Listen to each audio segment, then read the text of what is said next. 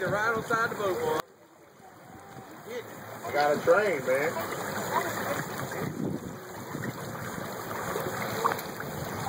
Don't you even think about it.